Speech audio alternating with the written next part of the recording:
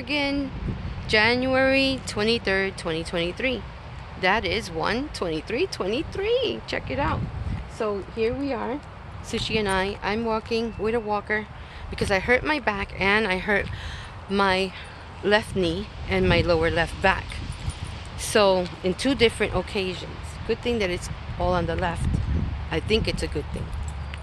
So, um, to have more strength on the right side, I think, because that's what I feel. I'm getting better. So, usually I use this walker when I'm having difficulty at night getting up because of plantar fasciitis or heel spur or whatever the case may be. But this case, I hurt myself really bad, and then, um, well, not really bad because now I feel like I'm getting better these days, but it's because I'm alternating walker, walk without it, walking with it, because sometimes uh, my knee collapses.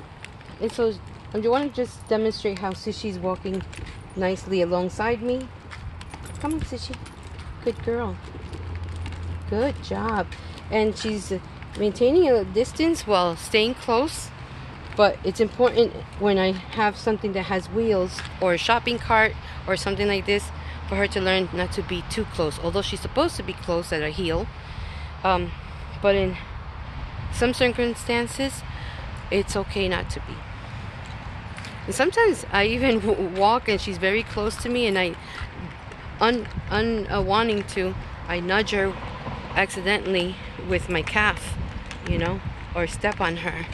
So I think she's kind of picking up on that and learning to be a little bit of a distant, although she was trained to be at a heel close to me. So this is all for today, or for now. Ciao for meow.